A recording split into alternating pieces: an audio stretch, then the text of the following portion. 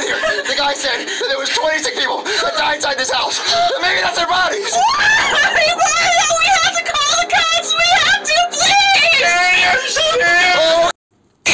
Let's see. What do I use for this? Um. Ooh. Where's my saw? Is everybody okay in there?